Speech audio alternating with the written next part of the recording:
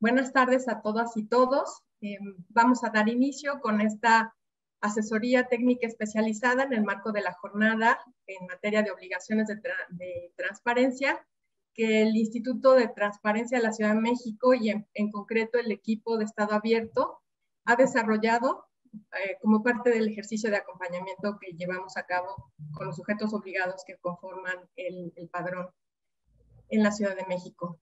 Eh, sin más preámbulo, quisiera eh, darle la bienvenida y, permitirle el uso de la voz a la comisionada María del Carmen Navapolina, quien coordina este equipo de Estado Abierto aquí en la Ciudad de México, para que nos dirija unas palabras. Gracias.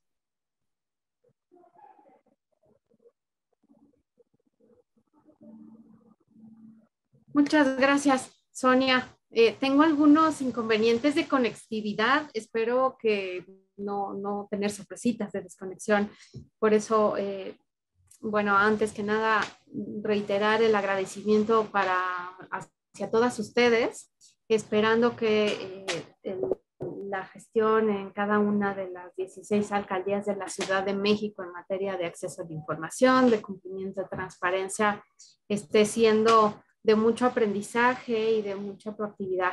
Em, esta sesión es la última que tenemos justo por el ámbito de alcaldías. Quisimos cerrar con broche de oro con ustedes eh, en cuanto a, la, facilitar la información de obligaciones de transparencia que marca la ley para las demarcaciones territoriales. Y sobre todo, pues comentar y, pedir eh, que tengan un aprovechamiento eh, del equipo de trabajo que tenemos de Estado Abierto, Estudios y Evaluación y por supuesto también de mi equipo de ponencia, eh, con la idea de que puedan hacerle las preguntas que ustedes requieran en aprovechamiento de este tiempo. Y también em, me gustaría mucho compartir y enfatizar, eh, dejarles eh, un cuatro, exactamente cuatro cifras de la última evaluación que tuvimos en la tercera vuelta sobre todo de cumplimiento de información del año 2020. Eh, en Ciudad de México hemos eh, observado eh, que estamos por debajo de lo mínimo que requiere la ley. Estamos hablando que estamos cerca del de 76.9 de información, 70 y 75%, perdón, este, y eh, vemos que justo hay elementos a considerar que pueden mejorarse, completarse y sobre todo de la información que ustedes ya tienen cargada en sus portales, que puedan tener visibilidad, que tengan eh, a menor eh, número de clics, se pueda llegar las personas a ella. Em, también como ustedes saben, en el ámbito eh, de alcaldía, sobre todo, tenemos que son 16 eh, demarcaciones como sujetos obligados y eh, esta parte de... ¿Perdón? Ah, por ahí creo que tenemos abierto algún micro, les encargo si podemos cerrarlo.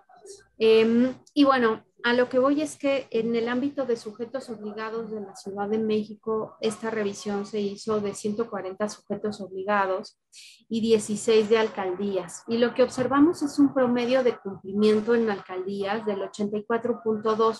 Está un poquito por encima del promedio de la Ciudad de México. Eh, también quisiera comentar que en el Sistema Nacional de Transparencia, cada entidad federativa contamos con distintas asesorías y acercamientos con los sujetos obligados. Y en el caso de, Ciudad de México, tenemos esta asesoría exprofeso por ámbito. Entonces, estamos ciertas que la especificidad de cada uno de los ámbitos, en este caso con ustedes, eh, requiere detallar cada una de las obligaciones y facilitarles, pues justo tener los elementos para poder hacer la carga de información.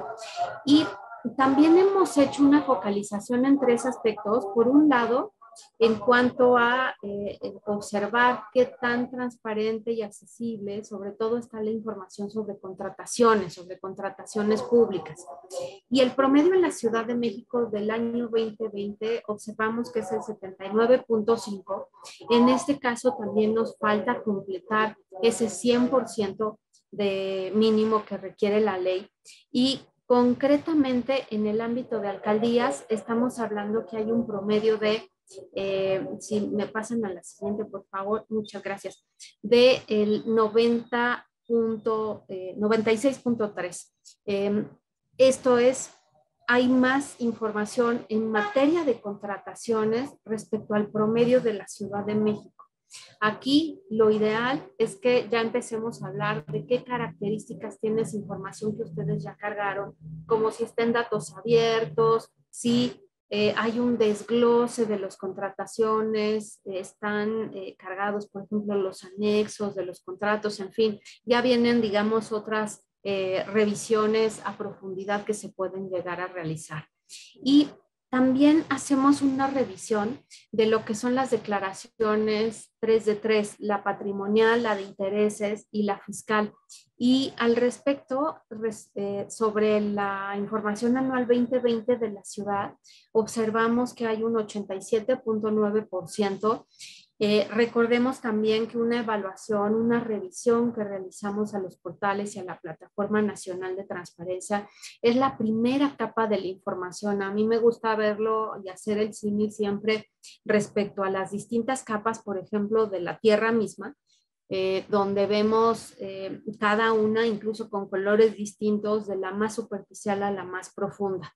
Una evaluación de obligaciones de transparencia también implica revisar únicamente la primera capa de información, de tal manera que eh, por eso siempre hago alusión a cumplir con el mínimo que requiere la ley, que es el 100%, porque es la primera capa. Ya después se puede hacer una revisión focalizada, puntual, eh, a través de los recursos de revisión que eh, nos presenta la sociedad al garante de Ciudad de México o bien a las denuncias por presuntos vacíos de información, que es cuando hacemos una lupa eh, utilizamos la lupa y revisamos justo con detenimiento el detalle de lo que la sociedad está denunciando.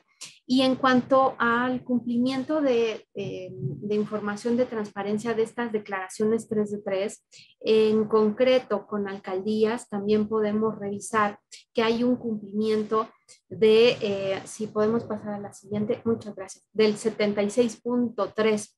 Aquí sí, en este caso, estamos por debajo del promedio de la Ciudad de México, que es el casi 88%.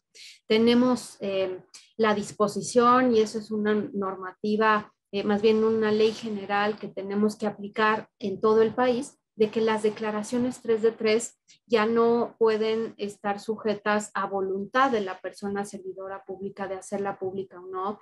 Es una obligación de transparencia y del, de los sistemas anticorrupción a través de los cuales pueden justo irse detectando presuntos eh, o, o, prevenir ¿no? anticorrupción o bien justo presumir buenas prácticas de integridad de tal manera que el 100% de cumplimiento en esta obligación de declaraciones patrimoniales es súper importante. Y finalmente tenemos la focalización en programas y acciones sociales que también hemos querido realizar porque ha sido una demanda prácticamente a nivel internacional de cómo se utilizan los recursos de programas y acciones sociales, a quienes llegan y qué tanta información hay. En este caso, eh, en las alcaldías hay un uso eh, mayor de justo estos programas y acciones sociales en materia presupuestal, de tal manera que nos interesa mucho continuar con esta focalización y esta revisión de qué tan transparentes están los programas sociales. Y tenemos que es un promedio del 72% que tenemos de información al respecto y en alcaldías está debajo del promedio. Aquí hay todo un área de oportunidad para que ustedes completen esta información porque eh, observamos del, del anual 2020 que cumplen con el 60% apenas.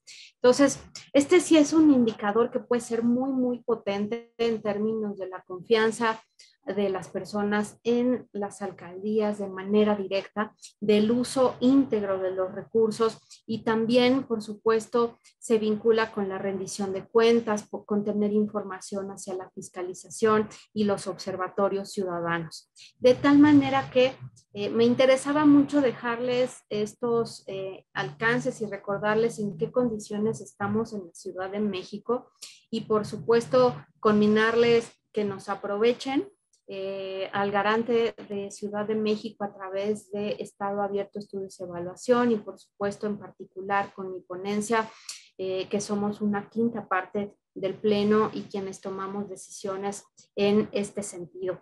Entonces, eh, pues les agradezco nuevamente muchísimo la disposición.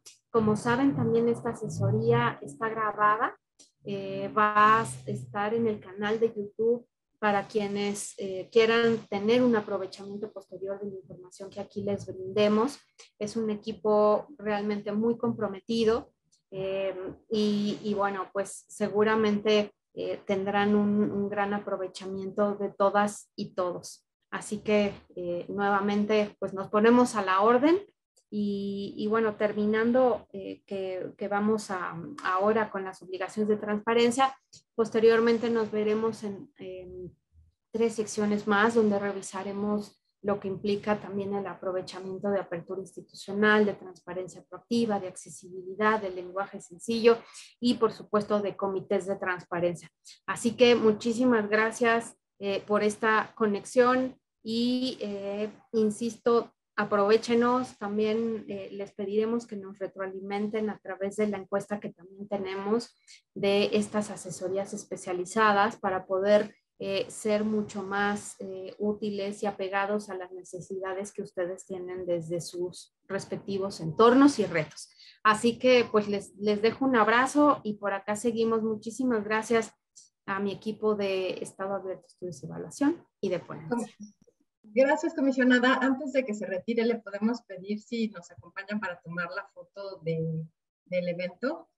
Este, y les pediríamos a todas las personas que, que, tengan posibilidad que prendan sus cámaras para, para que el equipo de comunicación social del Info nos haga favor de tomar la foto.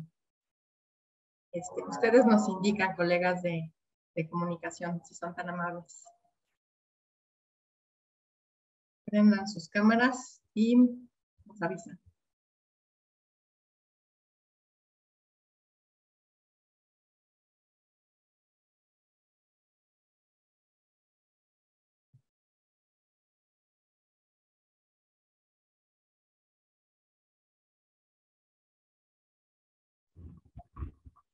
Lista.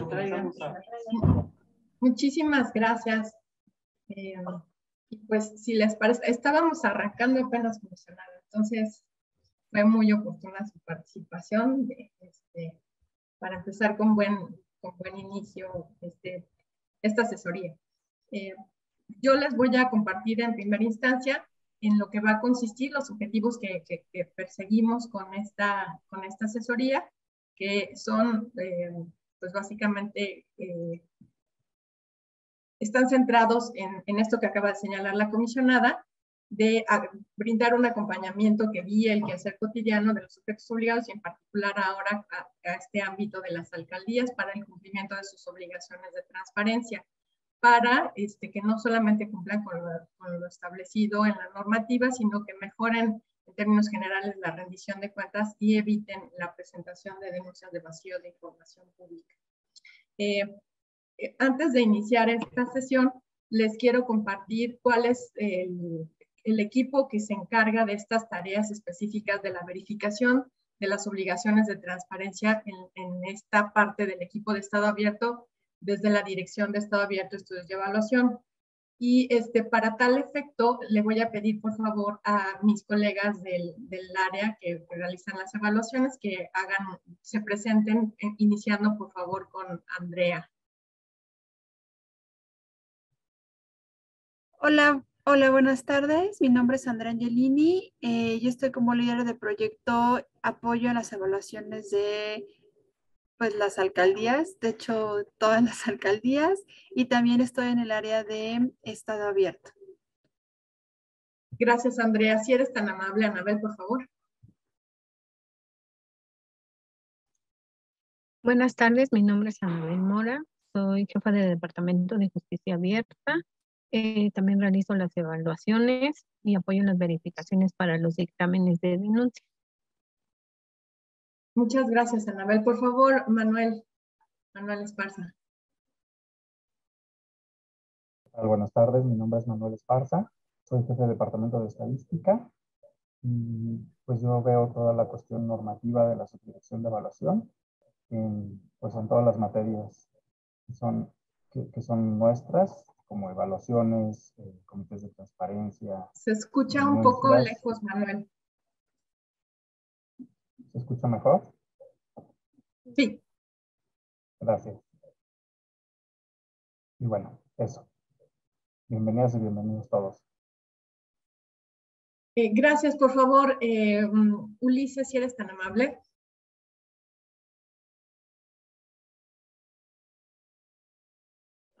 Hola, buenas tardes. Ulises Mendoza, líder de proyectos de la dirección. Eh, también soy evaluador. Eh, verifico la integración de comités de transparencia. Ah, también asigno formatos en el CIPOT. Y me encargo de la gestión archivística de la dirección. Sean bienvenidos. Buenas tardes. Muchas gracias, Ulises. Y ahora, eh, por favor, David Jiménez.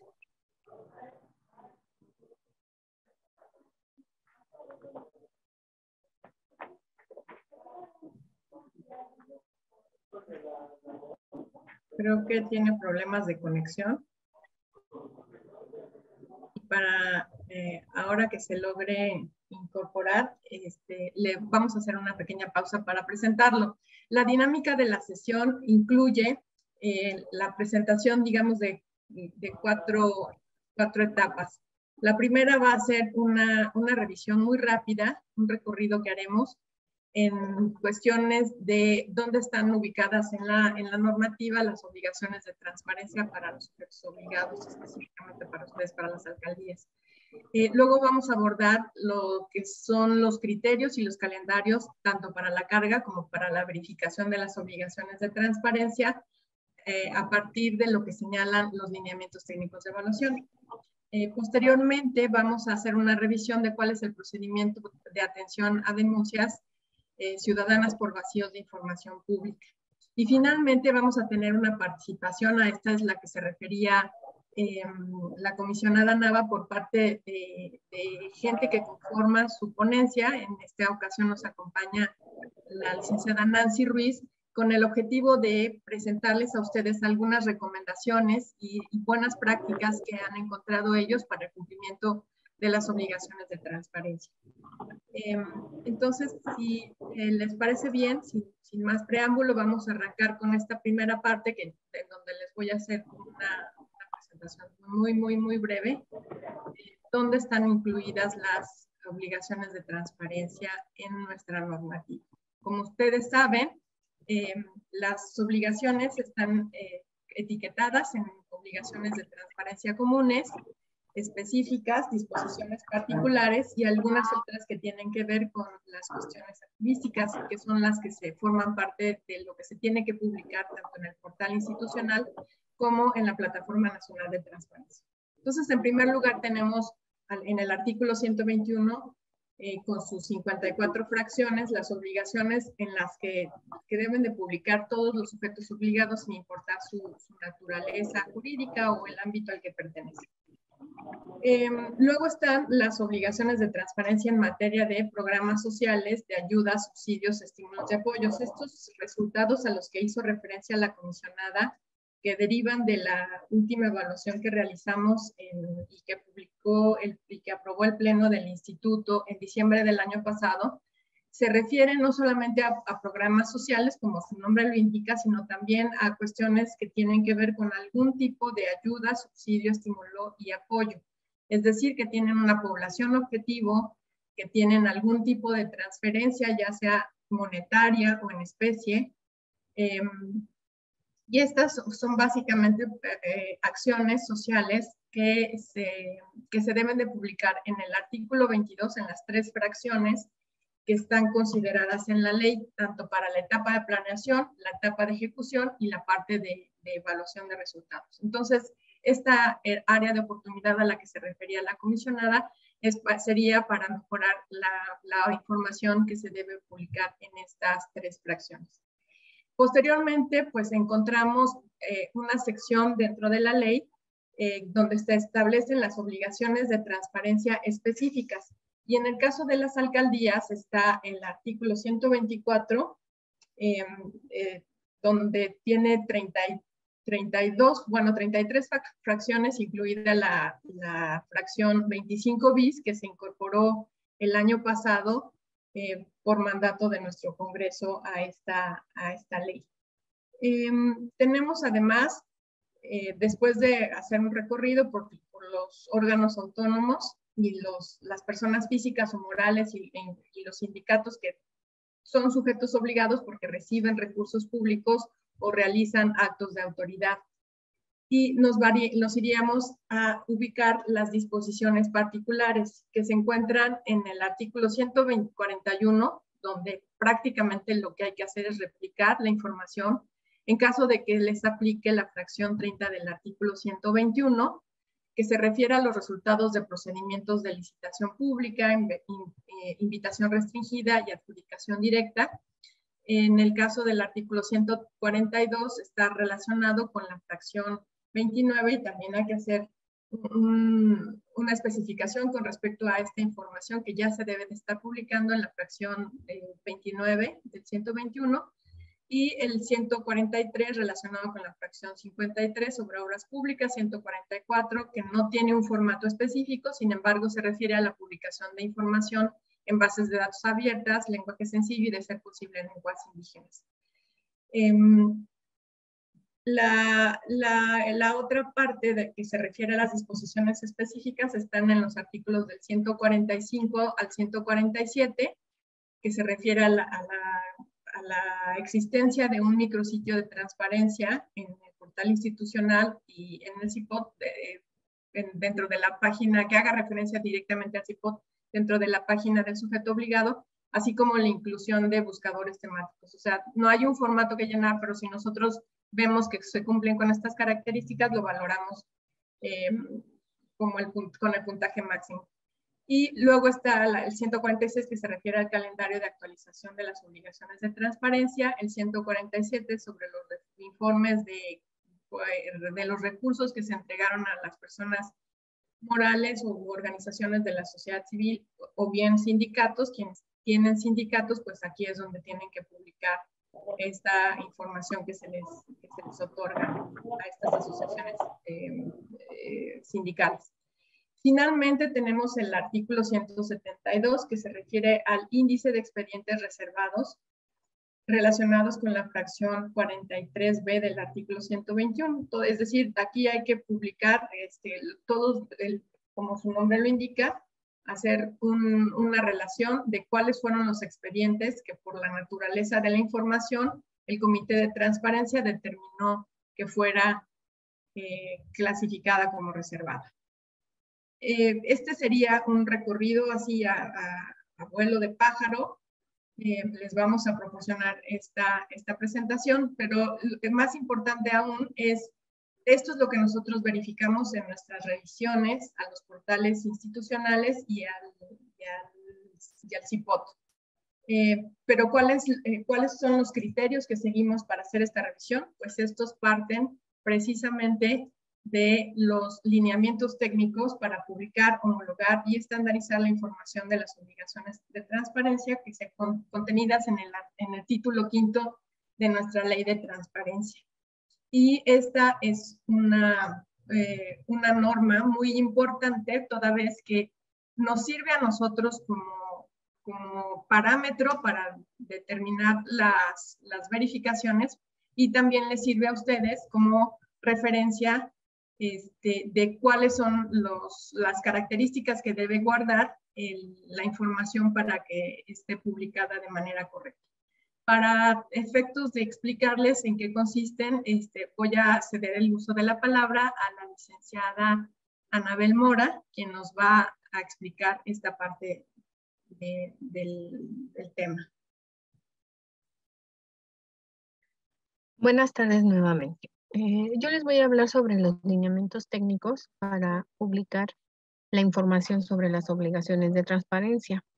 Estos lineamientos es en lo que ustedes se deben de basar para publicar la información. Aquí se presentan las disposiciones generales, eh, las políticas eh, generales de publicidad y actualización de la información, los criterios para la publicación y la homologación de las obligaciones de transparencia, la metodología de evaluación y los anexos. Estos lineamientos eh, son obligatorios para todos los sujetos obligados. Y aquí también vamos a encontrar eh, los formatos en donde se debe de publicar la información y eh, nos indican también los periodos para la carga y la publicación de la misma. La que sigue, por favor. Eh, asimismo, para poder publicar la información, tenemos las tablas de aplicabilidad. Estas tablas en estas tablas deben de indicar las fracciones y los artículos que les corresponden o que les son obligatorios para su, su publicación.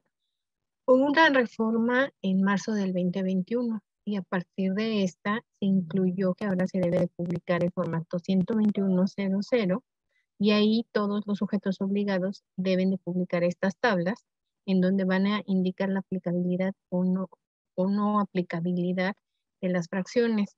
Siempre debe de estar fundamentado y motivado eh, cada, cada, fracción que no les aplique. Este formato eh, debe de estar de acuerdo con el dictamen de aplicabilidad que emite la Dirección de Estado abierto. Asimismo, eh, los artículos o las fracciones que en su momento no estén previstos en este dictamen se van a considerar como si aplicables hasta que se emita un nuevo eh, dictamen. Y en este caso, en caso de que no genere la información porque no está dentro de sus facultades, ustedes lo deben de señalar con la nota correspondiente, fundada y motivada. La que sigue, por favor. Ahora, eh, bien, en cuanto al calendario de evaluación. Ah, la que sigue. En cuanto a las evaluaciones, nosotros tenemos un, calendario para cargar la información. La información siempre se va a cargar 30 días naturales después de que concluye el periodo. El periodo puede ser trimestral, semestral, anual o en caso de que tenga alguna modificación, este se va a realizar en los, en los siguientes 15, 15 días.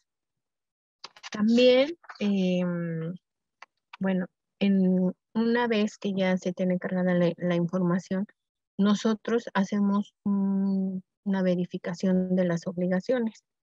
Hacemos eh, dos tipos de verificación. Una que es la evaluación anual que se hace a ejercicio concluido. Por ejemplo, ahorita eh, la que corresponde al ejercicio 2021 la vamos a realizar en este, en este año. Una vez que se concluye con esta evaluación y el Pleno emite la, el, el dictamen correspondiente, ustedes van a tener 15 días para subsanar las observaciones. Posteriormente a este periodo, nosotros volvemos a realizar una evaluación de solventación, donde únicamente vamos a verificar las observaciones y recomendaciones que se les hicieron para que ustedes ya den el cumplimiento mínimo de la, a la ley. Eh, la que sigue, por favor. Ah, hacemos otro tipo de, de verificación, que, es, que son los dictámenes, que estos se hacen derivados de las denuncias que se pueden llegar a presentar. Ahora, eh, la característica de las, de las evaluaciones, nosotros revisamos que ustedes cumplan eh, debidamente con la publicación de la información en tiempo y forma, que sea dentro de los formatos correspondientes, en el periodo correspondiente. Una vez eh, concluido esto, se genera un dictamen por cada sujeto obligado, lo que les comentaba, lo cual aprueba el Pleno con los requerimientos y las recomendaciones que ustedes deben atender. Estos, eh, estos lineamientos nos van a, ir marcando estas pautas. Ahora bien, em, mi compañera Andrea les va a hablar sobre las recomendaciones eh, generales para que ustedes puedan publicar mejor la información. Hola, buenas tardes. Gracias, Anabel. Eh, buenas tardes. Yo voy a hablar de las recomendaciones que les hacemos a la información que ustedes publican en sus portales de transparencia y en el CIPOT. Eh, vamos a empezar con las recomendaciones del formato. Aquí es importante que ustedes siempre chequen los periodos de actualización y de conservación dependiendo de los artículos o fracción que se traten. O sea, que siempre tengan a la mano sus lineamientos para que vean estos periodos. Ahora, acuérdense que, bueno, siempre les, eh, recuerdo que el tema de las fechas de validación y actualización, acuérdense que la fecha de validación siempre tiene que ser igual o posterior a la fecha de actualización. Bueno, como segundo punto, vamos a eh, también siempre verificar la correspondencia entre los formatos eh, y la fracción o el inciso que ustedes están cargando. Esto no es tanto problema en el CIPOT, porque si no, no les permitiría subir el formato pero en su portal de transparencia siempre es importante que suban el Excel o el formato que corresponda a cada fracción. También, bueno, les recomendamos cuidar la ortografía, la redacción, la puntuación en estos formatos eh, para que sea más comprensible, bueno, que sea comprensible para, para la persona que consulte su información. La que sigue, por favor. Bueno, eh, ¿Qué otra parte? Los hipervínculos son muy importantes. Es importante es, em, que funcionen correctamente, que uno pueda acceder sin problemas, que no estén protegidos eh, y que, bueno, que se actualice la información a través de accesos directos que faciliten la consulta e incentiven la búsqueda de la información. Eh, eso es que, por ejemplo, si en marco normativo se me ocurre yo le doy clic al hipervínculo que ustedes publican, me dé acceso directo al documento, no, no tanto a lo mejor a, otra sección donde aparezcan muchos documentos para estar buscando dónde está exactamente la normatividad que estoy buscando, que estoy tratando de consultar. Y bueno, verificar que remitan a la información correcta, ¿no? Eh, sobre las notas, ya ven que luego les recomendamos que eh, si no cuentan con cierta información o está en proceso, utilicen el apartado que está al final de sus formatos que se llama nota. Estas notas siempre tienen que estar fundamentadas y motivadas y en el caso de que la información apenas esté en proceso de generación, eh, especificar la fecha en que estará disponible esta información para que las personas que lo consultan puedan saber cuando pueden ya eh, verificarla. La que sigue, por favor. Bueno, a continuación, ahorita que se actualicen. Eh, bueno, derivada de las, de las, evaluaciones, es importante utilizar bases de datos en formatos abiertos con un lenguaje sencillo y claro para mejor comprensión de las personas. Y es yo siempre, bueno, siempre les recomendamos nosotros que la información que se publique en el portal institucional de transparencia sea homóloga con la que se publica en la plataforma nacional de transparencia.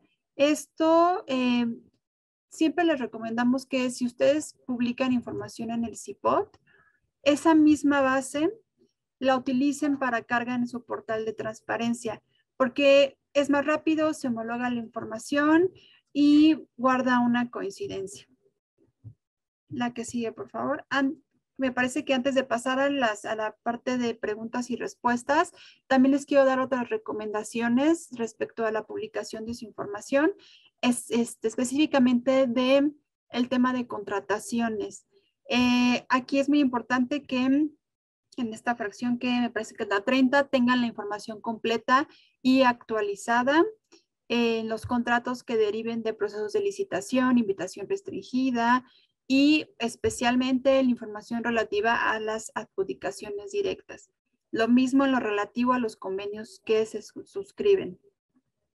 Y bueno, eh, mantener la información organizada, procurando tener accesos directos, o sea que no tengamos que dar muchos clics para poder consultar la, la información y acceder a los datos que nosotros deseamos.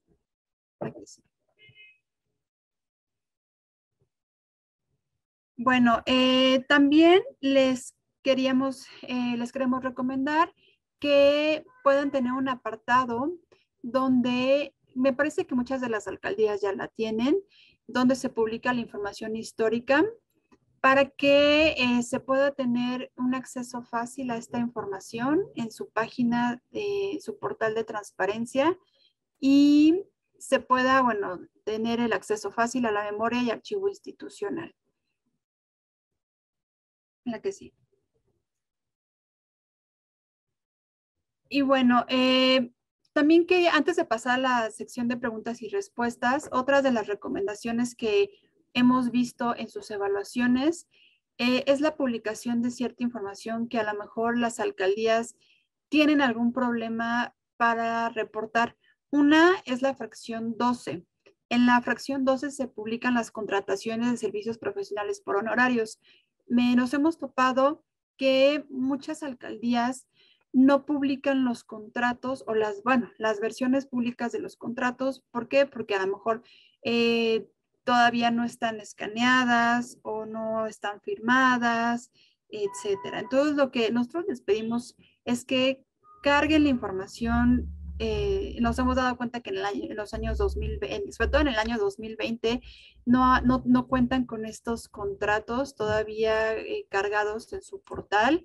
Entonces, en sus dos portales, entonces es importante que lo hagan tanto el año 2020, 19, 2021 este, en el caso de que no, estén firmadas todavía estos documentos, eh, no importa, eh, cárguenlo así y ya cuando los tengan firmados, eh, vuelvan a actualizar esa información con el fin de que las personas puedan consultarla. ¿Qué otra fracción? bueno, lo mismo sucede también con las actas del Comité de Transparencia. Es importante que también es la fracción 43 que siempre suban sus actas eh, del año que corresponda y bueno, de, lo que indique también los lineamientos, ¿no? ¿Qué otra fracción? Eh, hay una fracción que es la 38, que también nos hemos dado cuenta, esa se refiere a la relación del número de recomendaciones emitidas por el instituto a los sujetos obligados y el seguimiento de cada una de ellas. Esta fracción 38 eh, ustedes deben de publicar aquellas recomendaciones que fueron aprobadas por el pleno del, Info en este caso y se puede referir a temas de las verificaciones realizadas a la publicación de las obligaciones de transparencia o de las derivadas de las denuncias de los ciudadanos, eh, entre otras, ¿no? Aquí nosotros nos hemos dado cuenta que a veces ustedes dicen que no cuentan con información por ejemplo, en las evaluaciones del año 2020, eh, nos dicen, no, es que no, no hubieron recomendaciones, cuando nosotros hicimos evaluaciones, eh, pues en la mayoría de las alcaldías y la mayoría tuvieron algún comentario. Eh, no puedo decir que todas, algunas tienen el 100%, pero en muchas de las alcaldías, pues sí hubieron observaciones. Entonces, les recomendamos que tanto para los, bueno, el año 2021, que es el, el que viene ahorita, el, el, año 2020 y años posteriores, como lo indica, anteriores, perdón, como lo indica los lineamientos, pues que chequen cuáles fueron estas observaciones que les hicimos. Y bueno, como hay más observaciones también que y recomendaciones que les podemos hacer, pero bueno, una de las principales, que ya lo había comentado la comisionada Mari Carmenada, es el artículo 122, que habla de programas y acciones sociales. Es importante que ustedes publiquen estos programas y acciones, este, sobre todo el tema de acciones este, sociales, porque han habido casos que sí nos reportan muchos de los programas que tienen. Acuérdense que este, este artículo 122 son tres fracciones y la fracción 12 divide en dos incisos, ¿no? Entonces es importante que siempre publiquen esta información tanto en el artículo 122 como el del 121, me parece que es la fracción 41 también que habla de los programas, eh, que siempre la tengan actualizada. En el caso del 122, nos pide eh, que publiquemos la información eh, vigente, ¿no? Entonces, en este caso, chequen del año 2021, que estén todos sus programas y acciones. y con el fin de que, bueno, las personas puedan consultar la información que ellos, que ellas desean. Bueno, estas son las, estas son las fracciones eh, que hemos tenido más eh, observaciones o que hemos identificado. No sé si tengan alguna pregunta que nos deseen hacer. De todas maneras, nosotros vamos a poner a disposición de ustedes nuestros datos de contacto por si se llegaran a acercar algunas personas del equipo o en este caso ya muchos ya me conocen porque llevo las evaluaciones de, las, de la mayoría de las alcaldías, pero este, si ustedes desean hacernos una pregunta ahorita, estamos abiertas. Gracias, Andrea. Em, antes de, continuar con la exposición, le quisiera pedir a, a David Jiménez, que ya logró arreglar su problema de conexión, que, que se presente y este, ya anda por aquí, ¿verdad? Sí, gracias Sonia, perdón. Eh, ya saben, problemas técnicos. Yo soy David Jiménez, líder del proyecto aquí en la subdirección. Eh, me encargo de los temas de estadísticas, eh, de informes y cuestionarios. Entonces van a ver mi nombre copiado en muchos de, los correos en los que les pedimos información. La mayoría de las alcaldías ya nos envió su cuestionario de comités de transparencia. Me parece que nada más falta una. Entonces, eh, cualquier duda al respecto, eh, ando al pendiente. Y es que esto es muy importante para nuestro trabajo. Gracias. Gracias, David. Este, eh, tenemos este espacio para preguntas antes de continuar o si prefieren dejamos las, las preguntas hasta el final para pasar a la siguiente. Eh, nos estaba preguntando, creo que por chat, eh, Ignacio Pérez de León. Los recursos de revisión entran aquí también. Sí, solo que justamente ese tema de recursos lo va a tratar nuestra compañera de Nancy Ruiz en su participación en unos momentos más. Entonces, si nos aguantas tantito, este, Ignacio, con mucho gusto. Y Jessica acaba de levantar la mano. Si gustas, por Hola, buenas tardes. Eh, yo soy de la alcaldía Alta. En relación a las manifestaciones que hizo la licenciada Andrea, eh, tengo una duda. En la fracción 12 del artículo 121, respecto a los contratos de honorarios, nos comenta que para efecto de poner a disposición de la ciudadanía la información correspondiente, podemos subir los contratos sin firma, ¿cierto? Pero eso, eso nos los están dando por incumplidos. Lo pregunto porque tengo yo ahorita un recurso en el sentido de que mis, mis contratos en página institucional los tengo sin firma. Entonces, yo estoy atendiendo el recurso y me piden que debo de, pedir, de, ponerlos con firma para que me lo den por cumplido. Entonces la pregunta va en el sentido de que se tiene por cumplido aunque no estén firmados o no tiene mucho caso que los subamos sin firma. ¿Qué tal? Buenas tardes. Eh, aquí es importante que, se, que cuando se suban los contratos de manera temporal sin firma en lo que se formalizan los mismos, en el apartado nota establezcan que los contratos eh, se suben de manera temporal sin firma ya que están en el proceso de eh, formalización y protocolización. Y sí, pero sí es importante que lo, que lo señalen. Em, nosotros aquí en la dirección eh, consideramos, bueno, o sea, si no, si no suben los contratos, pues están en falta. Si suben los contratos sin firma, pues, o sea, siguen en falta. Eh, pero bueno, si, si, si publican una nota fundada y motivada donde nos señalan los motivos por los que no se están subiendo eh, aún los contratos, pues digo, se entiende. Ahora, nosotros entendemos que ustedes, que pues la firma de los contratos lleva un proceso. Entonces, pues no les vamos a exigir que tengan hasta el último trimestre eh, ya todos formalizados. Pero nos hemos encontrado casos de sujetos obligados que no tienen información desde 2019 y dicen que están en proceso de protocolización. Entonces, en esos casos, pues obviamente pues es una negligencia pavorosa y pues no se va a tomar eh, en consideración para la calificación. Incluso en una denuncia, pues se determinará que, hay un incumplimiento. Digo, eh, ahí este, pues por eso tenemos el campo nota para especificar cuáles son las razones eh, de por qué no tenemos cierta información y siempre y cuando esté eh, fundada y motivada, pues se, se considerará como adecuada.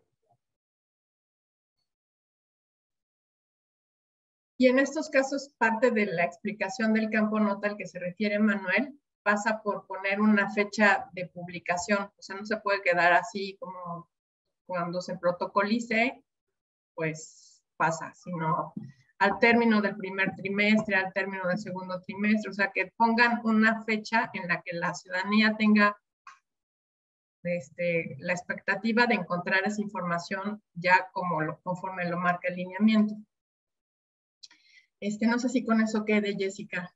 Ok, muchas gracias. Gracias. Y también sí, muchas gracias. a Esmeralda Pineda, que levantó la mano, y luego unas preguntas en el chat. Gracias. Eh, buenas tardes. Eh, tengo una duda. Eh, en los lineamientos se establece cuando la información se debe de actualizar de manera trimestral, semestral o anual. Sin embargo, en el artículo 124 es un ejemplo, por decir, en la fracción 30, que habla del atlas de riesgo, en los lineamientos se establece que esa información se carga de manera anual, pero en la plataforma nacional viene de manera trimestral. Entonces, me preocupa porque en la evaluación eh, va a aparecer como que en tres trimestres no está cargada cuando de acuerdo a los lineamientos solamente es anual. Lo mismo aplica, por ejemplo, en el programa provisional de gobierno, la fracción 29 igual del 124. Entonces, también eso como que nos crea un poquito de confusión porque son unos dos ejemplos, ¿no? Por decir. Sin embargo, este, esta situación la hemos podido ir detectando de acuerdo a la evaluación vinculante que que sí nos dicen no, de, no este, reporta la, información de manera trimestral, pero es anual. Ahí, ¿qué, qué procedería?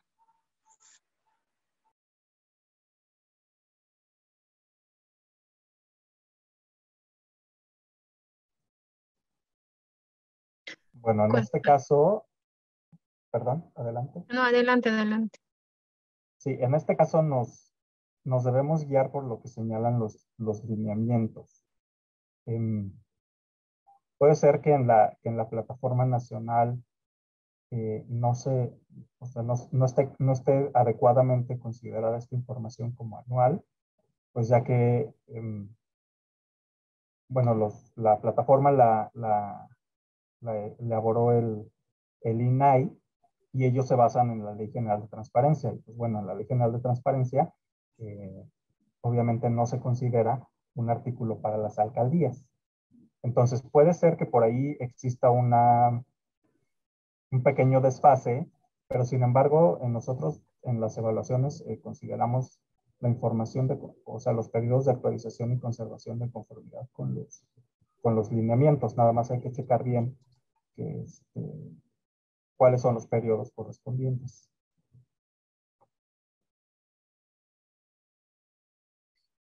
Anabel, ¿quieres complementar con algo? Sí, yo lo que les iba a comentar es que eh, cuando te indica que es anual, pues se publica en el primer mes del ejercicio o, eh, en el primer trimestre. Ah, y lo que vamos haciendo es que lo vamos validando trimestralmente, porque a veces el lineamiento nos dice periodo de actualización trimestral, conservación anual. Entonces se publica a principios del ejercicio pero se va eh, validando trimestralmente. Así también lo establece el lineamiento. Ok, gracias. Gracias. También tenemos unas, unas preguntas. Nada más, antes, para complementar lo que preguntaba Ignacio Pérez de León, eh, los, los, la información de las resoluciones de los recursos de revisión se publican en, la, en los formatos de la fracción 39 del artículo 121. las recomendaciones en la 38 y los y los resoluciones de recursos en la 39. Gracias. Eh, nos está preguntando Rosa Esmeralda Jiménez. En caso de que la información se encuentre en proceso de actualización, ¿en cuánto tiempo se debería actualizar?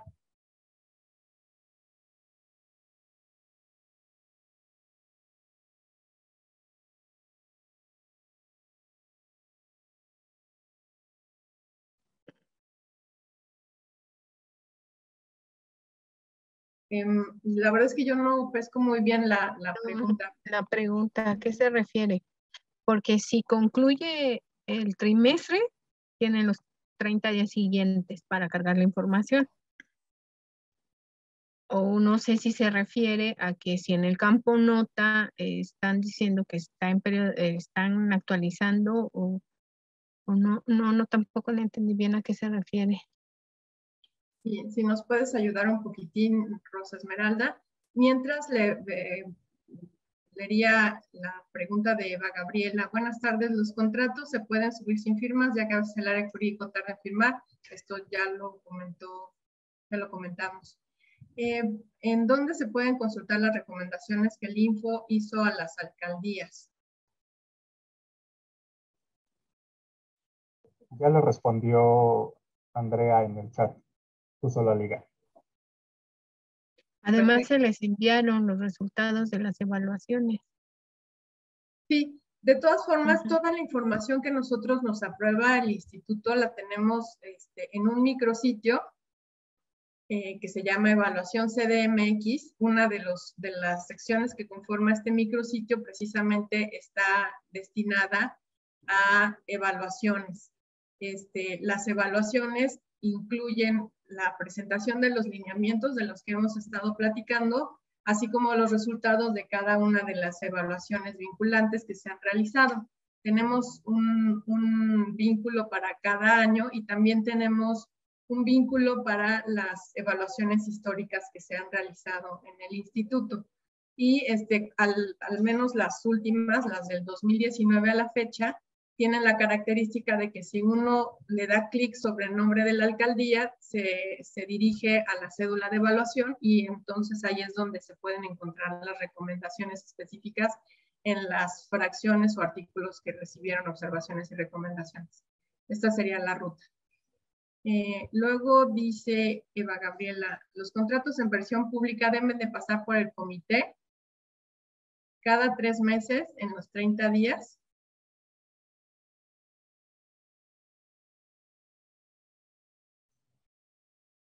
Bueno, aquí ya depende de los manuales de normativa interna de cada sujeto obligado, de cada cuándo se reúne su comité.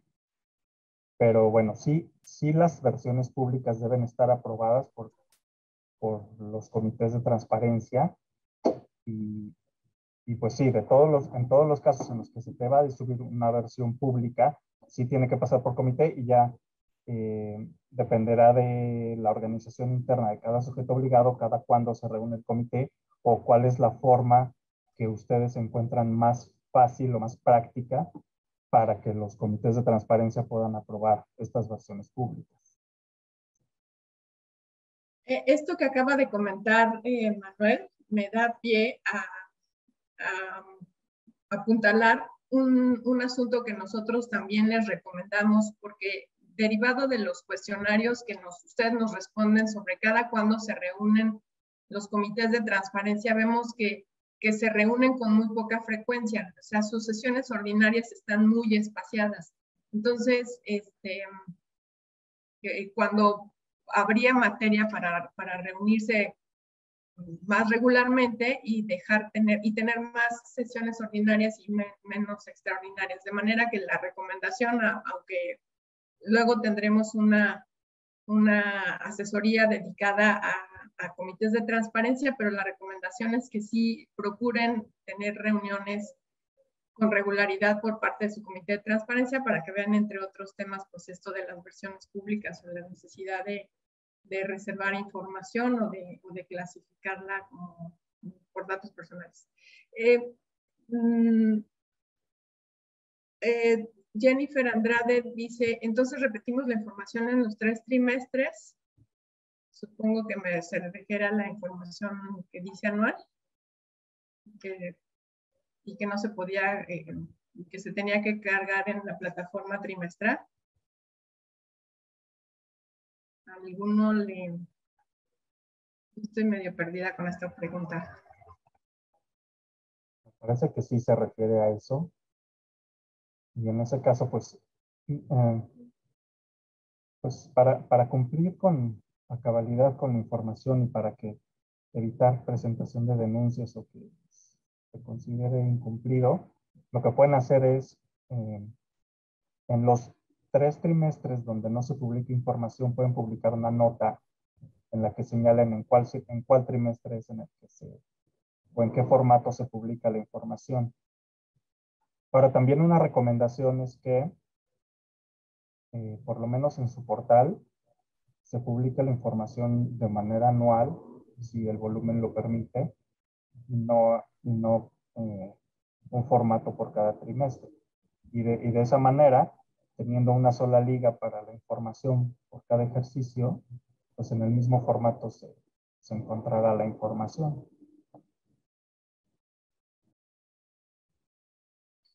Muchas gracias, Manuel. Eh, luego viene en el artículo 121, fracción 36D, referente a inventario de bienes, debemos publicar el responsable de cada edificio público. Sin embargo, no existe una forma para asignar a un funcionario. ¿Cuál sería el fundamento legal? Es que el formato no te pide responsable por, eh, por edificio. O sea, pide el área que genera la información, pero no, o sea, revisando el, formato y con las modificaciones, no, no pide responsable por, por edificio. Son inventario de bienes muebles, ¿cierto? No hay muebles. Sí, o sea, hace, hace referencia al inventario de los bienes inmuebles.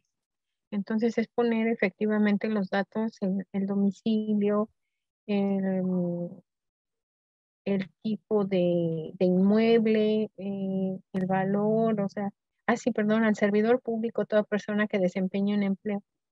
Pero no, normalmente no, no, no lo,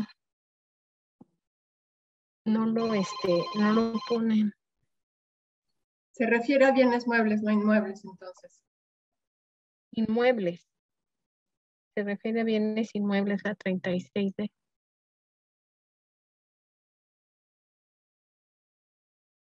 Para no retrasar más este tema, le, hacemos un compromiso para, para checarlo em, y le respondemos a Araceli Díaz. Araceli, ¿de qué alcaldía es? Bueno, ahorita lo checamos con la lista. Nada más eh, asegúrese de haber puesto sus datos de contacto para que lo podemos, la podamos buscar.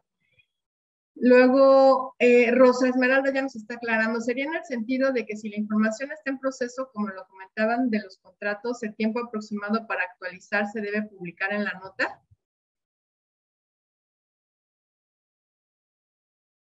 Así es. Luego, buenas tardes. Con respecto al artículo 121, fracción 29 y el artículo 124, fracción 19, parece que las fracciones citadas, los cuadros solicitan el dato del poseedor y o propietario. La duda es porque se hace público en las plataformas los nombres. Si es un dato personal,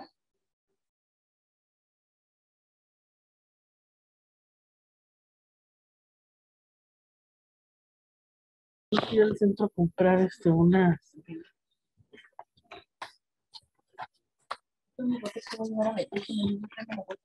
Ya no. las latas están llenas. ¿Alguien tiene prendido su micrófono o quiere participar? Ay, ya no puede. Y luego vivo en país y tengo una cosa que Adriana.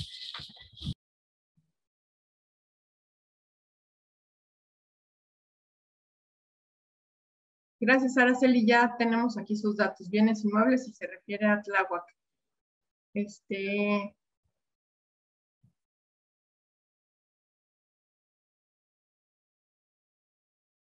Respecto al artículo 121, fracción 29 y artículo 124, fracción 19, los cuadros soliciten el dato del poseedor o propietario.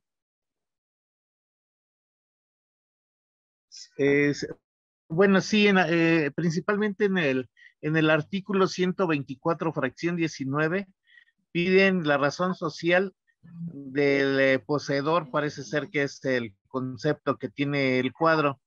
Eh, mi duda es también en el, eh, en el cuadro de licencias, que es el, este, el 121 fracción 29. Mi duda es por qué se pide los datos de, o sea, un dato personal si son vinculantes. Toda vez que, por decir, cuando nos piden información en este, algún ciudadano eh, en una solicitud, si nosotros no podemos tenemos que hacer una versión pública para no dar ese dato personal, porque es un dato vinculante, cuando no es el sujeto, el, el poseedor de los datos personales. Entonces, esa duda, bueno, siempre la he tenido porque digo, bueno, ¿cómo se hace pública un dato personal? Porque ese, con ese dato lo pueden localizar al, al, al ciudadano y no sabemos este, quién. O sea, porque pues X persona solicita anónimo, lo que sea, solicita informes sobre una licencia de construcción o un alineamiento, que son los dos casos. Entonces, con ese dato, pues de una u otra forma pueden localizar el predio y todo. Entonces, sí es mi duda por qué se hace público en las plataformas. Si cuando nosotros eh, entregamos una solicitud tenemos que hacer una versión pública y si no, y, muchas veces nos meten el recurso de revisión porque dicen que es público y no es público porque eh, eh, los datos, por decir, de una licencia que, son públicos, nada más es la, el número de licencia, el folio, nada más. O no sé, a lo mejor estoy mal. En las licencias lo que está pasando es que hay una transferencia de de recursos públicos hacia una persona, ya sea recursos en especie o en permisos especiales o para la explotación de, bienes colectivos. Entonces, esa es la razón que subyace detrás de, que sea público per se el dato. Si está recibiendo algún beneficio de, un bien o servicio público, pues tendría que ser público. Pero en este caso, perdón, pero en este caso son licencias de construcción que no reciben, o es, eh, eh, se puede decir que es nada más una, un registro o una autorización de la licencia. Al contrario, ellos pagan sus derechos, los ciudadanos. Eh, y en este caso, bueno, de esta fracción, al menos es lo que, que hacen los comités, yo lo he expuesto y no me han sabido dar respuesta este, porque es una persona física. Cuando es moral, bueno, sí es un, puede ser público, pero cuando son física, pues, no, creo que no. Y no, no, no hay este, no, en este caso no hay de por medio recursos públicos.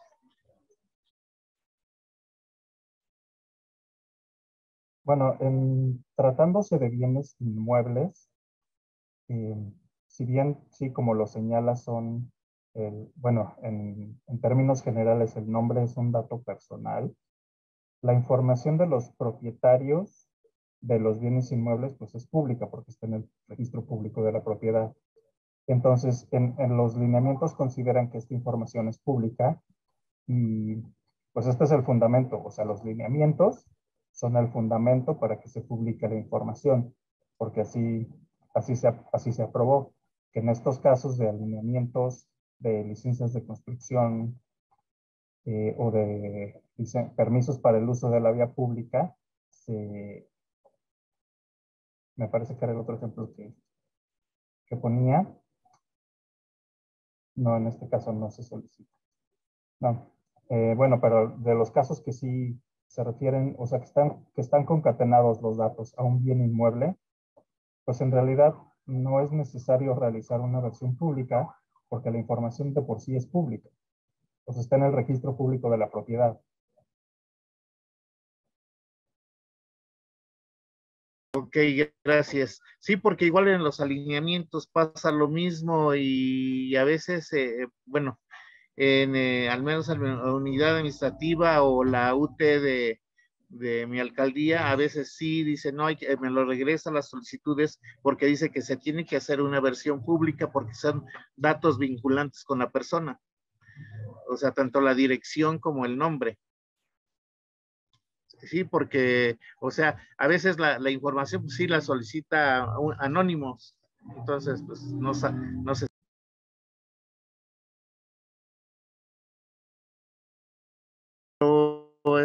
tomaremos en cuenta la, la, la opinión. Muchas gracias.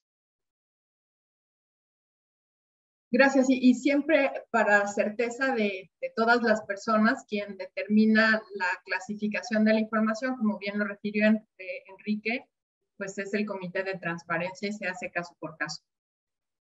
Eh, este, que yo ya no veo más preguntas en el, en el chat, así que vamos a, a, pasar a las dos partes que tenemos previstas ahora a cargo de Manuel Esparza.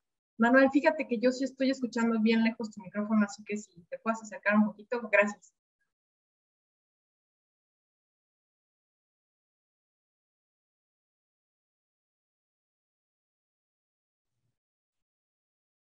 ¿Se escucha mejor? Bueno, eh, mis compañeras eh, Ana, Anabel y Andrea hablaron de las evaluaciones que realiza esta dirección, que son de oficio, que, son que se hacen de manera censal a, los, a todos los sujetos obligados y a todas las obligaciones de transparencia. Ahora vamos a hablar de las eh, evaluaciones que se realizan a petición de parte, que son las que se hacen eh, con las denuncias. Es un procedimiento que se inicia cuando una persona busca información dentro del portal de un sujeto obligado y no la encuentra y lo hace del conocimiento de este instituto. El fundamento legal para el procedimiento de las denuncias es del artículo 154 al 168 de la Ley de Transparencia Local. Eh, bueno, el ciento, en realidad el, el, capítulo va del 155 al 168, pero el artículo 154 es el que nos regula el procedimiento de evaluación. Y por eso lo incluimos dentro del fundamento legal para la, para la atención de las denuncias. Bueno, aquí pues tenemos eh, las etapas del procedimiento de denuncias, que son la recepción, que ya les habíamos hablado, la previsión en el caso de que eh, una denuncia no sea suficientemente clara, se le dan cinco días a la persona denunciante para que realice las aclaraciones pertinentes. Posteriormente se admite la denuncia y se informa tanto a la persona denunciante como a la ponencia correspondiente y a la Dirección de Estado Abierto se le pide que realice una verificación y un dictamen eh, respecto de la obligación o las obligaciones de transparencia que se hayan denunciado. Los, los sujetos obligados tendrán que presentar un informe. Posteriormente, eh, una vez entregado el informe y el dictamen, las ponencias realizan el proyecto de resolución que pondrán a consideración del pleno. Del pleno. Una vez que el pleno lo apruebe, si se determina que existe un incumplimiento, se le dará un plazo al sujeto obligado para que realice las eh, adecuaciones en sus portales de, de obligaciones de transparencia y o en la Plataforma Nacional de Transparencia para cumplir con las obligaciones de transparencia.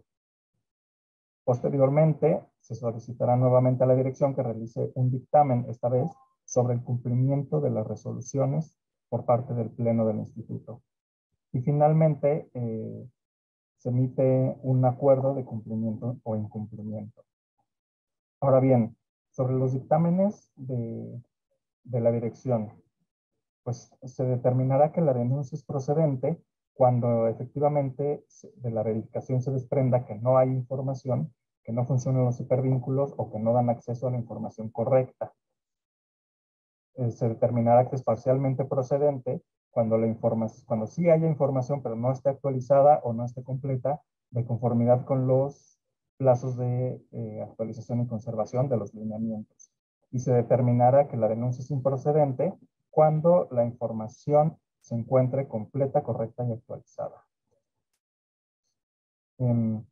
En esta dirección que les estamos compartiendo aquí en la presentación, vemos el informe de, de dictámenes de denuncias por vacíos de información pública 2021, donde pues se contiene información que les puede resultar muy útil a todos los sujetos obligados para evitar en el futuro la presentación de denuncias por vacíos de información. Ahora hablaremos un poquito respecto de los datos que contiene este informe. Eh, en el ejercicio 2021 se presentaron a la dirección 206 peticiones de dictaminar denuncias por posible incumplimiento. De esas 206, 101 se refirieron a dictámenes de cumplimiento de resoluciones del Pleno y las otras 105 se refirieron a eh, denuncias por vacíos de información pública.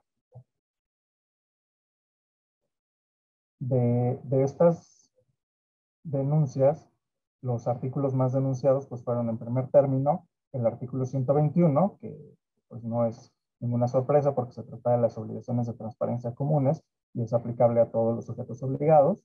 En segundo término tuvimos el artículo 123, que es de la Administración Pública Central, eh, y desconcentrados, descentralizados, eh, para estatales, fondos y comisos.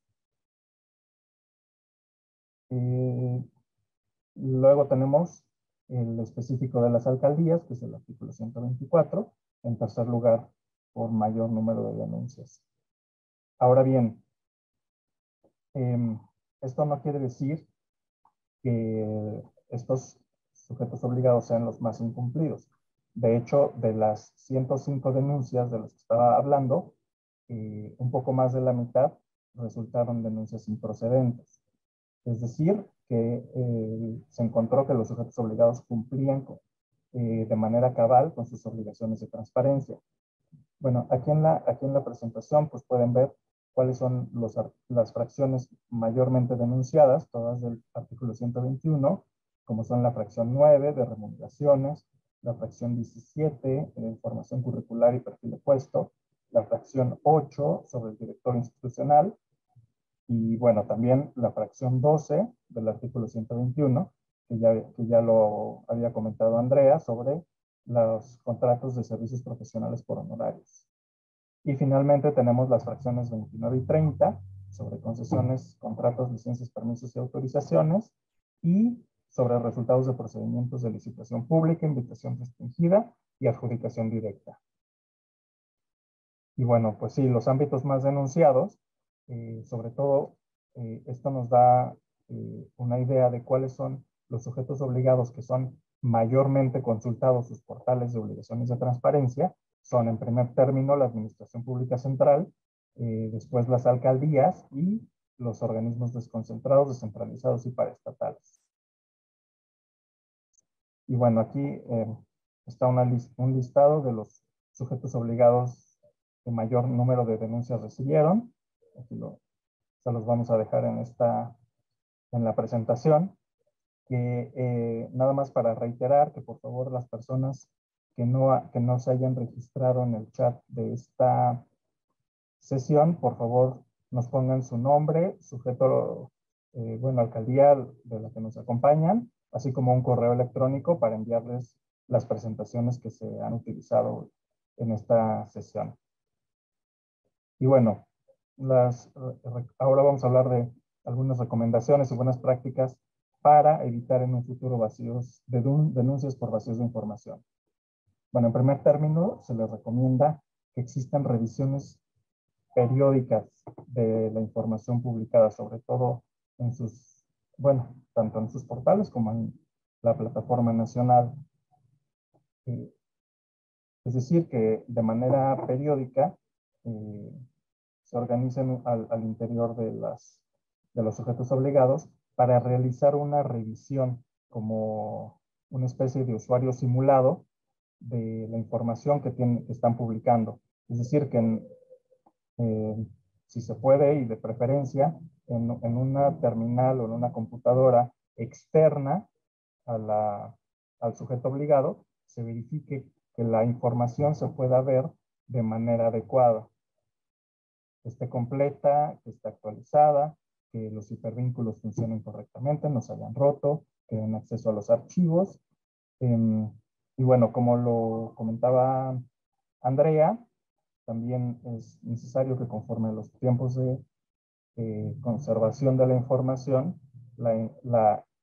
aquellos formatos o aquella información que ya no deba conservarse en el portal porque ya ha transcurrido su plazo, pues se alojen en un micrositio de información histórica, sobre todo la información que se considere más relevante.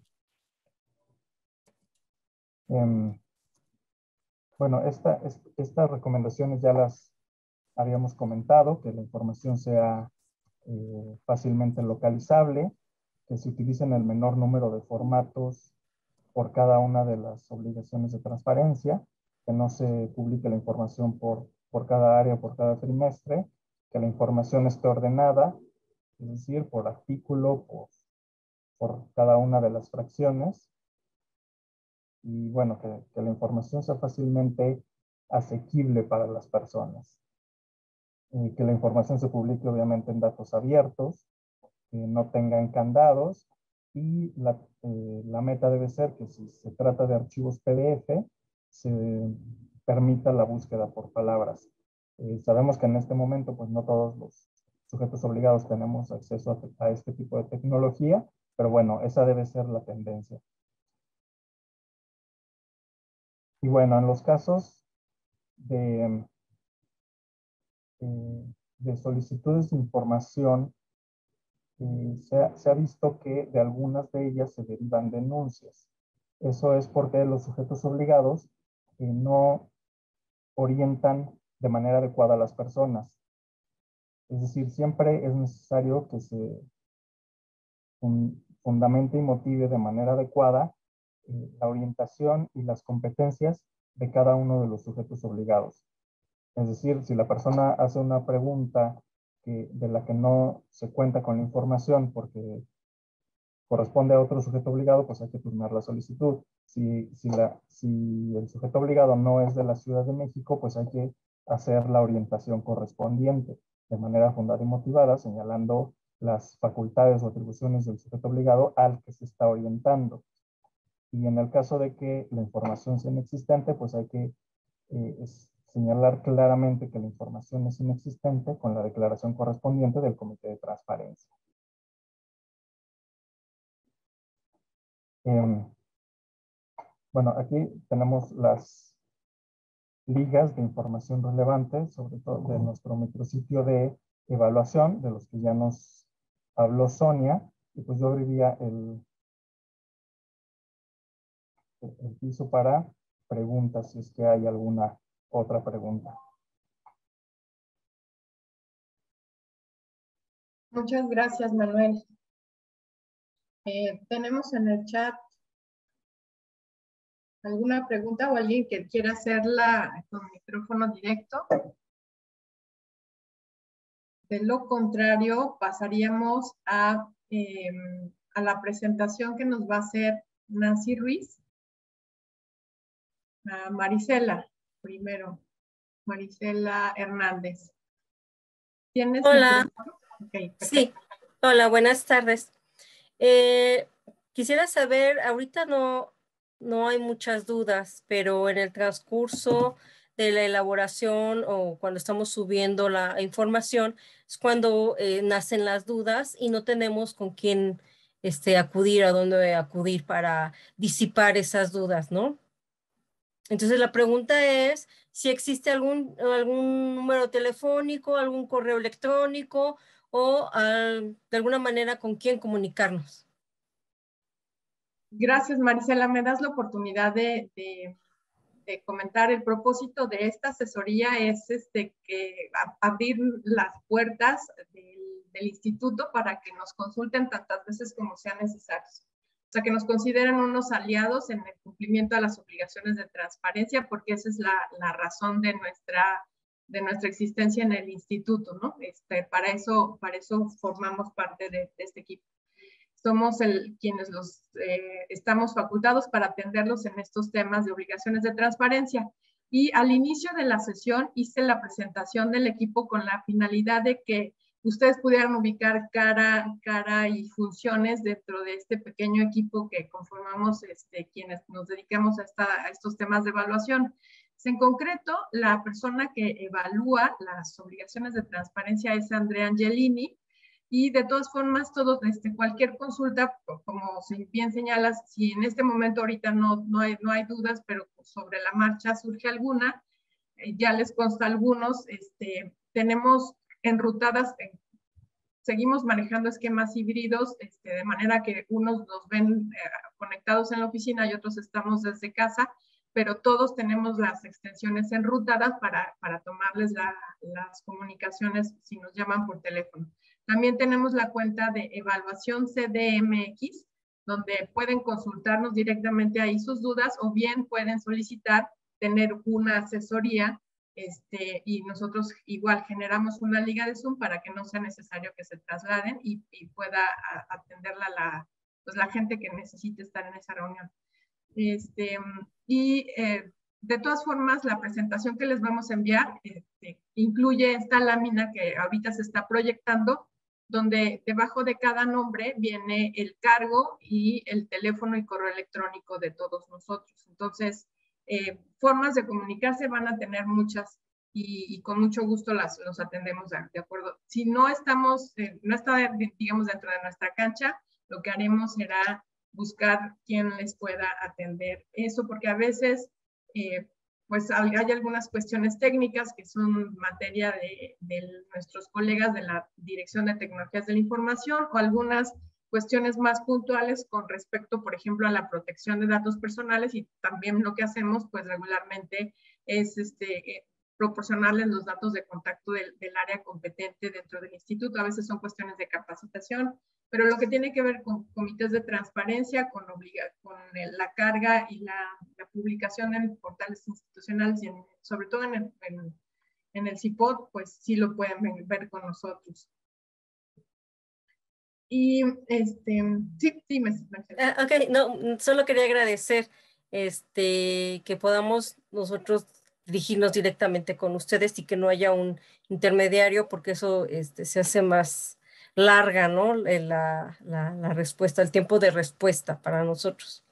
Entonces, este, con esto ya estamos este, nosotros como que más al pendiente de, de, nuestras funciones y con la este, comunicación directa con ustedes. Gracias, Marcela. ¿De qué alcaldía este, nos acompañas? Tlalpan. Tlalpan. Ay, yo soy vecina de Tlalpan. Gracias. bueno, este, gracias. ¿Alguien más quisiera participar? Sino para darle eh, paso a la presentación de, de Nancy. Este, si me hacen favor de quitar esta. Ya está por aquí Nancy, esperando. Nos vamos a comer unos minutitos, pero es súper importante lo que les va a decir Nancy, así que este, estamos muy contentos por sus participaciones diversas y eh, adelante Nancy, si eres tan amable. Sonia, muchas gracias. ¿Sí me escucho bien? Perfecto. Pues nada, los saludo con mucho gusto a la distancia, muy contenta de, de volverlos a ver, de que nos podamos reunir nuevamente. Mi participación ya va a ser muy, muy breve, justo para no tomar más de su tiempo. Y sobre todo me interesaría saber si hay preguntas. Eh, les quiero compartir un poco de cómo es el, criterio que seguimos al interior de la ponencia y pasarles unos tips al momento de atender las solicitudes de acceso a la información pública. Esto con, la intención de prevenir o de evitar que se recurran las respuestas que ustedes eh, emiten en primera instancia. Eh, los, los criterios o los puntos que, que se nos, nos parecen más importantes son los siguientes. Al momento que ustedes reciben una solicitud de acceso a la información pública, la primera recomendación es desglosar la solicitud punto por punto. Hay solicitudes que son muy concisas, que nada más es una pregunta y se puede atender eh, de manera puntual. Pero hay muchas otras ocasiones en donde son, son varias preguntas y a la vez esas preguntas se dividen en datos. Así que lo primero que deben hacer es desglosar pregunta por pregunta, dato por dato y revisar, en segundo lugar, qué, qué partes o qué, qué datos sí son competentes o en qué datos no son competentes. Si hay una notoria eh, incompetencia, se tiene que remitir la solicitud al sujeto obligado competente de acuerdo a la ley a los tres días siguientes después de que se recibe la solicitud. Puede existir casos donde hay una competencia concurrida. Entonces, se remite la solicitud al sujeto obligado competente y también nosotros, como sujetos obligados competentes, eh, atendemos la solicitud en los fragmentos que nos corresponde. ¿Qué vamos a hacer para esto? Eh, pues recordamos que se tiene que turnar a las unidades administrativas que poseen la información. ¿Cuál es el siguiente tip que notamos mucho que, de repente por ahí nos, nos recurren, nos informan mucho? Con la clasificación de la información. En la clasificación de la información es muy importante que, que recordemos las dos vertientes, la información reservada y la información confidencial. Cuando hay información reservada, muchas veces solo eh, eh, dicen clasifico con base en una de las fracciones del artículo 183, sin embargo, no nos remiten el acuerdo en donde consta la prueba de daño. Es muy importante que la reserva de información la acompañe la prueba de daño eh, dentro del, del acuerdo. En esta prueba de daño los invitamos a que hagan realmente un análisis lógico-jurídico. No solo basta con que mencionen o invoquen la fracción, sino ustedes tienen que, estudiar caso por caso por qué es adecuada la clasificación. Ah, en la reserva siempre se tiene que hacer el acta de acuerdo a la solicitud. ¿Por qué? Porque la información que va a ser reservada es susceptible de modificarse, ¿no? Puede ser que en, eh, ahorita, ¿no? 17 de marzo, esta información que me están pidiendo todavía tiene naturaleza reservada. Pero puede ser que en un mes ya la, la situación o el razonamiento por el cual se reservó ya no exista. Por lo tanto, ya la podríamos dar. A diferencia de la información confidencial. La información confidencial prácticamente o por lo regular van a ser los datos personales, los cuales no van a cambiar. Entonces, esto nos pueden fundar con un acta que hayan emitido, no sé, un mes antes o un poco más de tiempo anterior, en la cual eh, se nombre dato por dato personal que se, está clasificando y el cual se adecua a la solicitud eh, actual, ¿no? a la solicitud que acaba de ingresar. Entonces, es diferente. Cuando se reserva, tiene que emitirse un acta en razón de ese caso en concreto.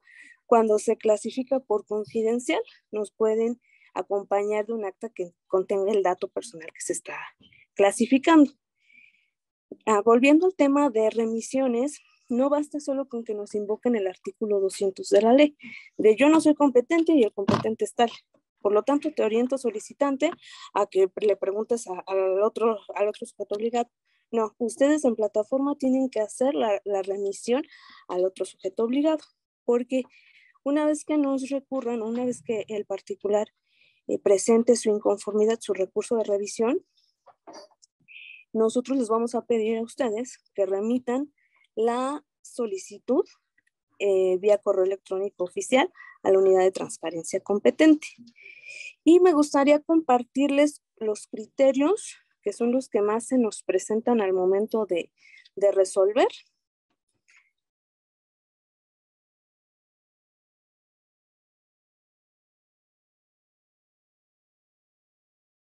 Te dejamos de escuchar, Nancy.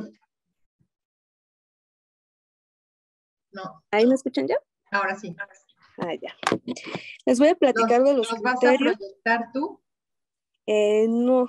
Yo los proyecto. Muchas gracias.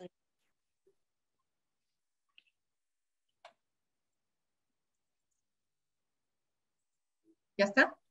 Sí, ya está. Muchas gracias. uno de los criterios con los que más nos encontramos o que más utilizamos son para la certificación de versiones públicas. Aquí se corrobora que el documento es una copia fiel de la versión pública que obra en los archivos del sujeto obligado. Para esto no es necesario que sea del original. Esta copia certificada puede ser de la versión pública, porque muchas veces se niega la certificación con base en que, que dicen que ya no es la, la copia original, o mejor dicho, el documento original. En estos casos, o para el acceso a la información pública, se acepta la certificación de la versión pública. La remisión de las solicitudes es lo que ya les compartía, que es eh, ustedes tienen que crear el nuevo folio y remitirlo directamente por sistema al sujeto obligado competente. El siguiente criterio es, en caso de que la información requerida se encuentre publicada en Internet, es suficiente con que el sujeto obligado proporcione la liga electrónica que remita directamente a dicha información. Recordemos que como dice la ley, eh, tenemos cinco días, ya cuando la información es pública, tenemos cinco días para informar al sujeto, digo, al particular, en dónde puede encontrar la información. Aquí es muy importante, si el link que vamos a proporcionar abre directamente a esa información, basta con que se entregue el link. Pero si el link nos remite a diversos botones donde eh, existe diversa información, es importante que nosotros al momento de atender la solicitud, le expliquemos paso a paso cómo acceder a la información de interés. No solo remitir el link y decirle, ah, pues ahí búscalo. No, tenemos que decirle paso a paso cómo, en qué botón debe encontrar la información de interés. Otro criterio relevante es del acceso a la información contenida en los correos electrónicos institucionales de las personas servidoras públicas.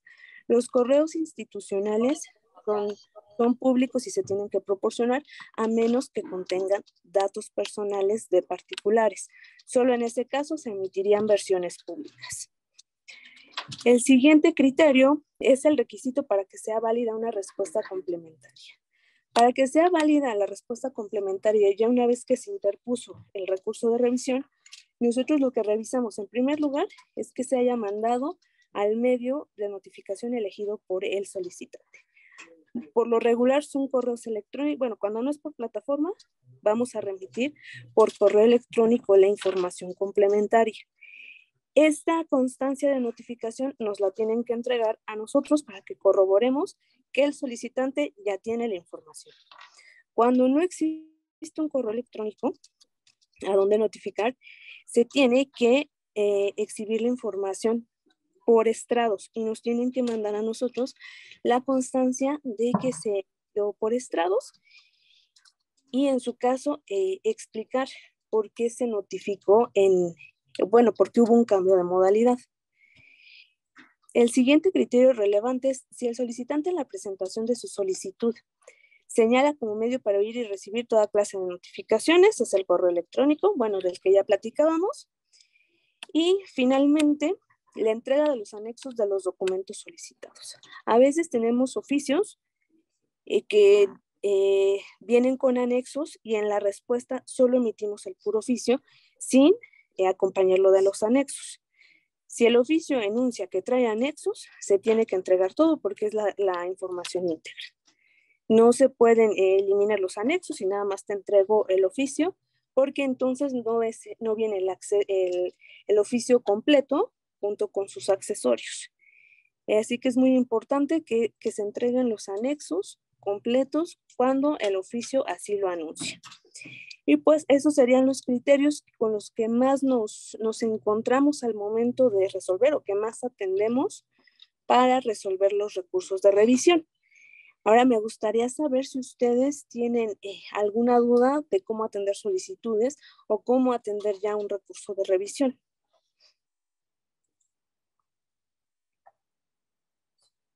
No sé si por ahí existan dudas. Eh, buenas tardes. Eh, mi sigue siendo la que expuse hace rato. Eh, nosotros, bueno, en lo que respecta, yo trabajo el 121 fracción 19 y el 120, al revés, fracción 29 y el 124 fracción 19.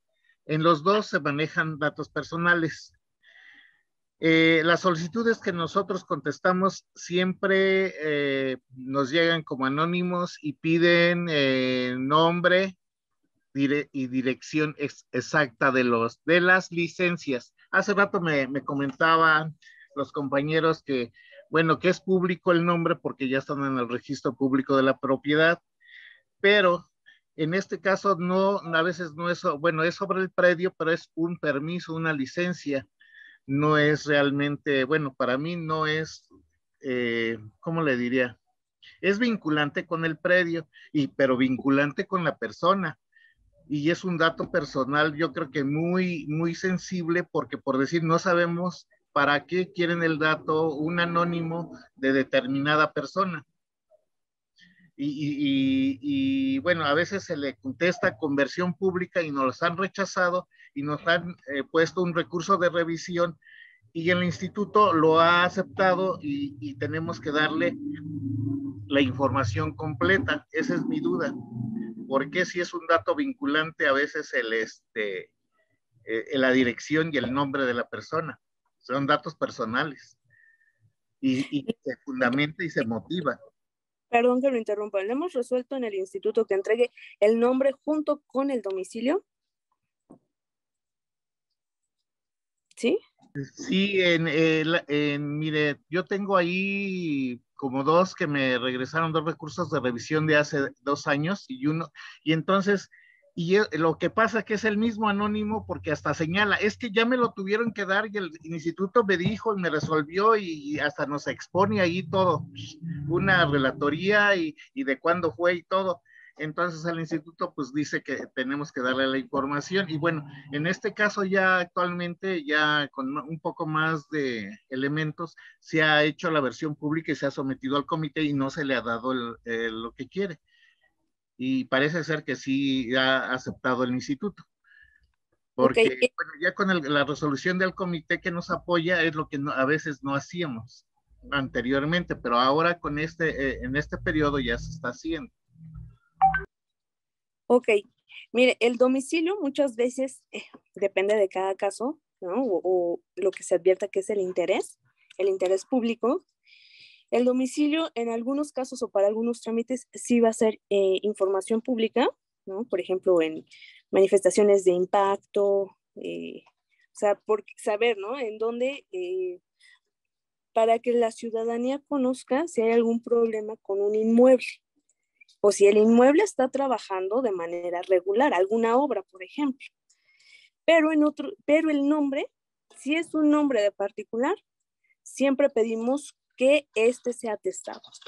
Justo por eso, para que no exista la identificación de un particular con un, un domicilio, a menos que sea una empresa privada, una empresa ¿Por qué? Porque ahí ya se puede dar un seguimiento y revisar si esta empresa está actuando de manera irregular. Es una persona moral, no es público. Ahí sí no tenemos, es una sociedad anónima y no tenemos ningún, hasta cierto punto, ningún problema. Pero si es un nombre de un particular, siempre pedimos que el nombre no se haga público, que siempre se teste, justo por eso, para evitar que una persona sea identificable de acuerdo a su nombre y a su domicilio, ¿no? Que puedan ubicar en dónde localizarla. Eso, el nombre siempre se testa. El domicilio en algunos casos no es susceptible de clasificarse dependiendo de, cada caso en concreto. Ok, muchas gracias. Para servir. Bueno, si no tuviéramos otra, otra duda, este, vamos a dar por concluida esta sesión. De todas formas, nos quedamos con el pendiente de eh, entrar en, contacto con nuestra colega de Araceli Díaz de Clavo, ¿verdad?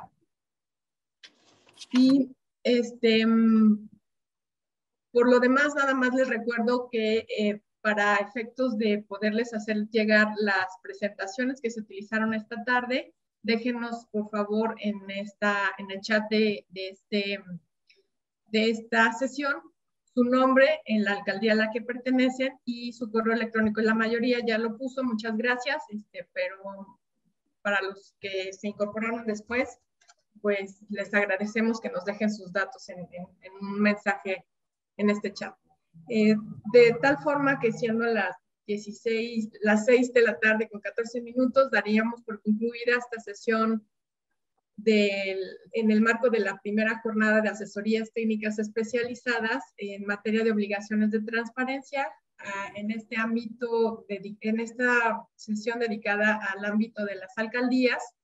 Y les agradecemos mucho su, su presencia, su participación y dejamos las puertas abiertas y, los datos de contacto para que se, se, comuniquen con nosotros cuantas veces sea necesario para tratar los temas que en esta tarde se abordaron. Muchas gracias y buenas tardes a todos.